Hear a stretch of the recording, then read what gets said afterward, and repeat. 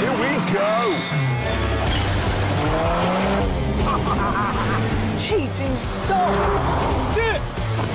Got a football under the brake pedal. That's bad. Bolton!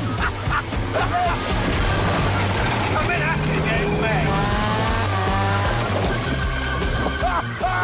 How they made something go this far? Brand new Top Gear, only on BBC Two and BBC Two HD.